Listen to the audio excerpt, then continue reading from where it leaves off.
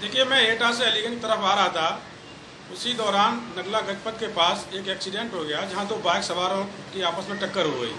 उसमें दो बच्चे, दो महिला व एक पुरुष घायल हो गया। भारी भीड़ जमा थी लेकिन किसी ने उनको चिकित्सा की सुविधा दिलाने की कोशिश नहीं की।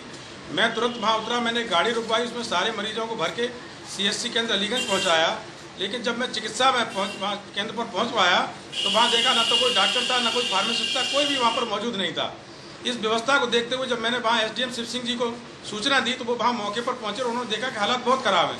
अलीगंज के चिकित्सा केंद्र पर कभी भी किसी को पूर्ण उपचार नहीं मिलता है। यहाँ पर थोड़ी सी पट्टी बाँध करके ये रेफर कर देते हैं। यही इन्होंने इस बार भी किया, जबकि महिला काफ़ी गंभीर थी, उसको पट्टी बांधी और उसको रेफर कर दिया। अजय जी, एक चीज़ देखने को मिली, जिस तरीके से वीडियो बनाया हुआ, कुछ पत्रकारों ने कवरेज की है। एक मासूम सा बच्चा है, जिसको गंभीर चोट लगी और बुरी तरीके से बिलक रहा है। ऐसे में उसको मेडिकल सुविधा न मिलना, ये योगी सरकार पे कहीं ना कहीं बहुत बड़ा निशाना नहीं दिखाई देता कि करोड़ों रुपए सरकार जो है डॉक्टरों पे खर्च कर रही है, सरकारी सुविधाओं पे खर्च कर रही है। उसके बावजूद भी जो है ऐसी घटनाएँ देखने को मिल रही है।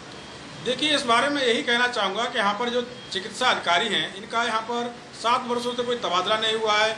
ये अक्सर कह देते हैं कि मैं पोस्टमार्टम में लगा हुआ हूँ, वहाँ लगा हुआ हूँ। दूसरे डॉक्टर हैं, उनकी भी कहीं ना कहीं ड्यूटी रहती है।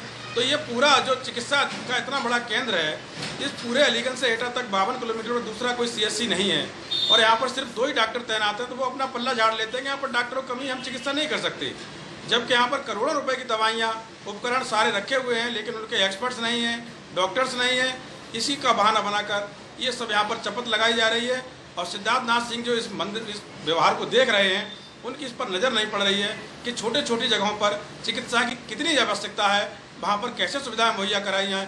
सरकार इस मामले में पूरी तरीके से विफल नहीं। मुझे एक पत्रकार महोदय चौहान जी ने उन्होंने सूचना दिया था कि एक्सीडेंट हो गया था उनको लेकर के अस्पताल आए कोई डॉक्टर नहीं मिला और मैं तत्काल मौके पे आया और वास्तव में जो ऑन ड्यूटी थे डॉक्टर वो एबसेंट मिले और किसी एक दूसरे डॉक्टर अखलाक हैं उनसे किसी मिल करके इलाज कराया गया।